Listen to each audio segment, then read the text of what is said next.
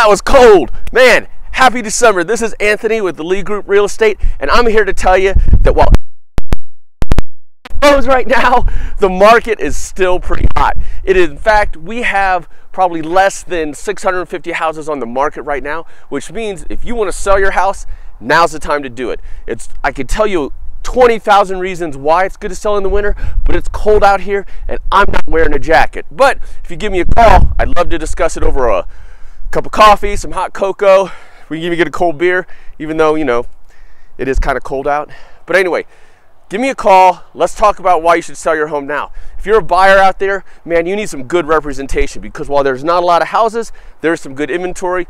You just need to be represented in the right way. So that way you can get your offer accepted, right? Because that's what a lot of people are running into right now. So if you're ready to sell your house, or if you're thinking about selling your house, let us know. The market's great.